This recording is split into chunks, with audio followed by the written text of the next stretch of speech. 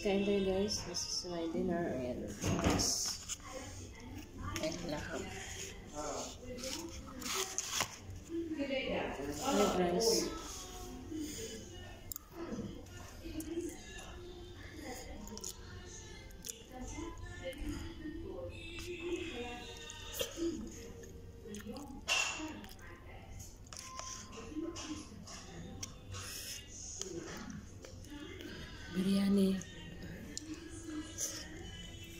Lang lang.